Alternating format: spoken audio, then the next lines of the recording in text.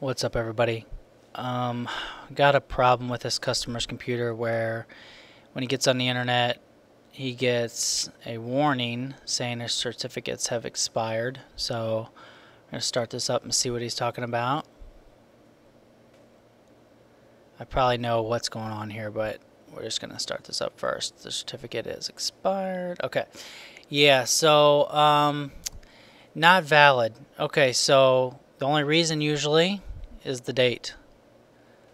So, yep, see 2004. Let's change that. What happens usually is the battery gets old in these older computers, doesn't work very good.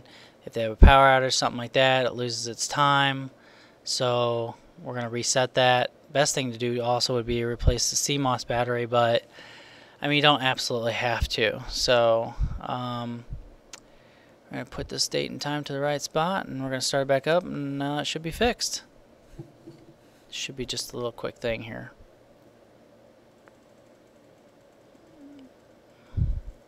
And we'll check it.